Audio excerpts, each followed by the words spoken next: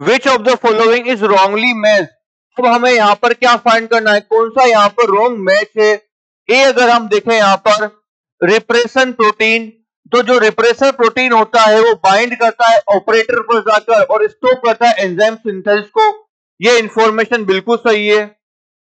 B operon structural gene operator and promoter अब यहाँ बात करें ओपेरोन की।